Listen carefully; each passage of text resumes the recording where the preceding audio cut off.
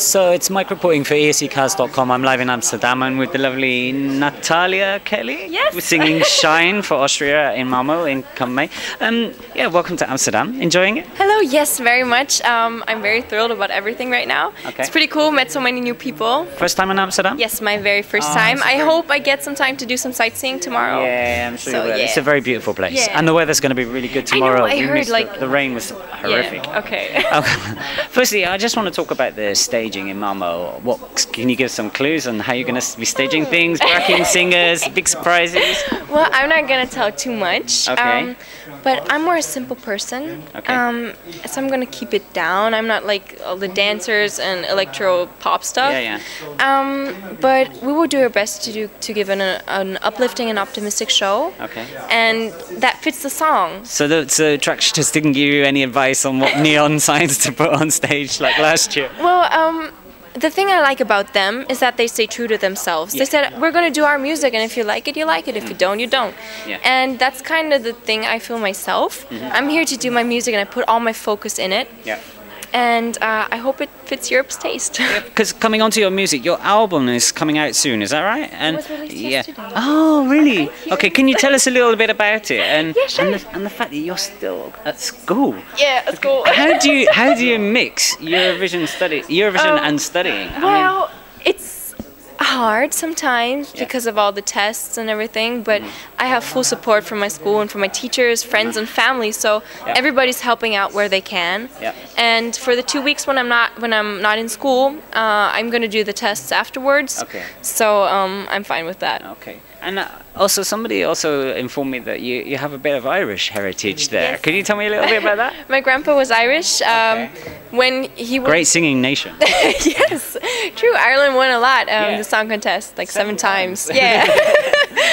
but uh, he moved to Austria, and then he met my grandma, who's originally from Austria. Then Yeah. they moved to the U.S. Uh-huh. And then my dad was born, my uncle. Yeah. Then I was born, and now I'm back in Austria. Okay, so, cool. Um, also, I heard you had some, maybe some Brazilian roots my as mom well. is Brazilian. Yeah. Yes. Tell me a bit more about that. Oh well. gosh. Well. Does this, do you think this really influences your music? Because you've got an Irish heritage, Brazilian heritage. There's a lot of mixes in there musically. I think it influences me as a person, and that influences my music and my. I, I'm pretty open for everything. I love to explore new things, meet new people, and that's why I like to be in this business too. Yeah. And I love to sing and perform and share my music with the people. So um, yeah, I'm like one year in America with my grandma, and then the other year in Brazil Okay. with my family. So I get to see pretty much. So and maybe we'll get to see you do some salsa at some time.